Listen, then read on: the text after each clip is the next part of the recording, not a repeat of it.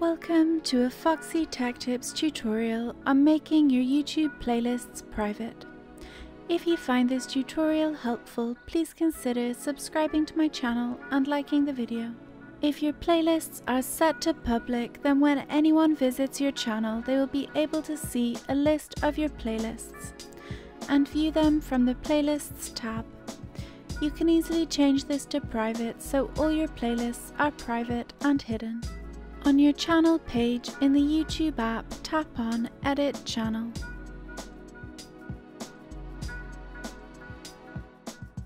Under the Privacy tab, there's a setting called Keep All My Saved Playlists Private.